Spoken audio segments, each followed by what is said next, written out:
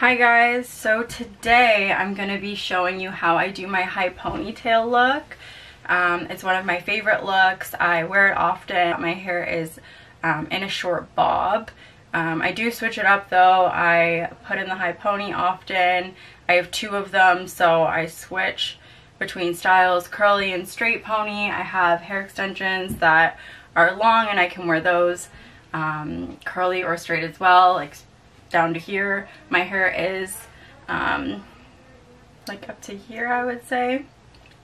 So yeah, right now I'm just wearing it in um, a bun at the top of my head. Super simple, ready to go.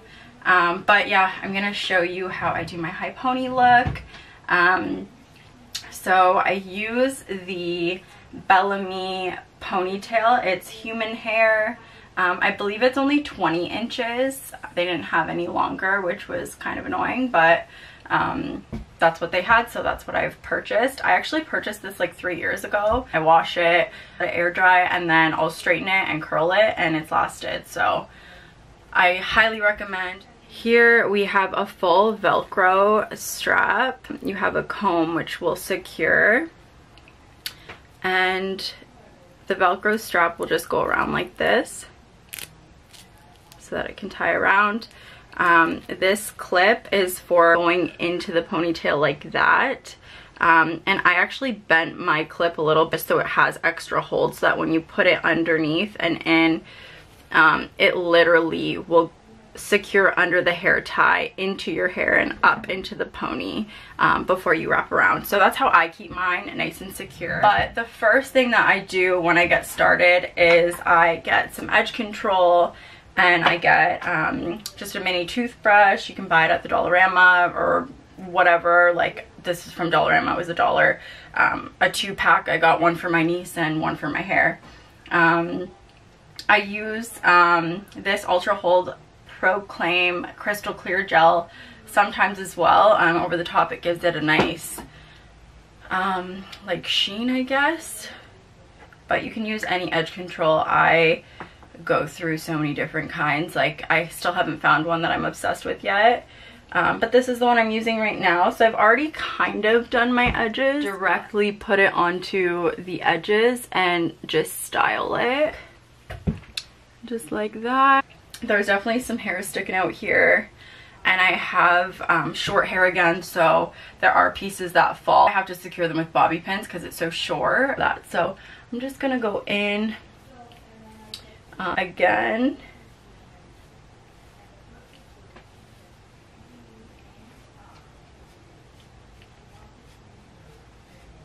So you just want to smooth out all your hair so that it's like gonna go back nice and slick. Um, I'm half Jamaican, half Italian, so my hair is pretty kinky, wavy, coarse, like I've got it all. So I gotta really slick that back.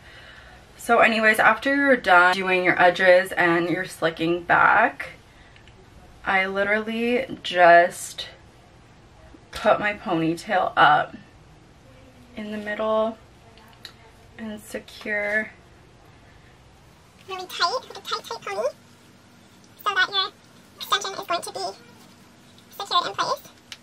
For my hairs that are falling back. Um, I don't like to put too much product on them so I'm just going to secure them with a bobby pin. Or a four. All right, so once you are slick up at the top, you're gonna get your extension. And you're gonna get this clip right there and you're gonna secure it in. I don't know if you can see it. Right in to where the um, elastic is in your hair and I just like stick it up. So in and up. And then I pull that hair through so that the the velcro sticks properly. And then you just wrap around.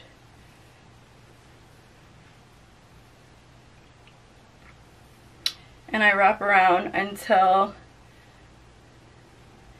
it's time for me to secure it with another bobby pin. So the hair, it's like the small hair there.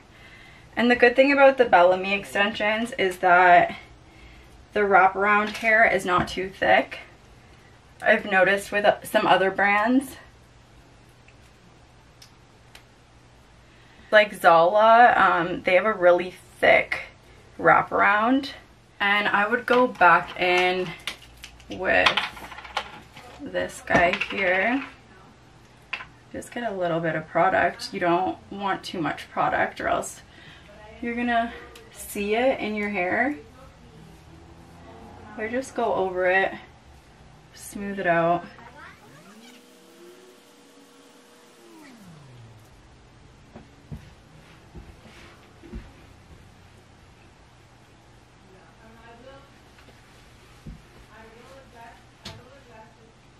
So this is the ponytail look.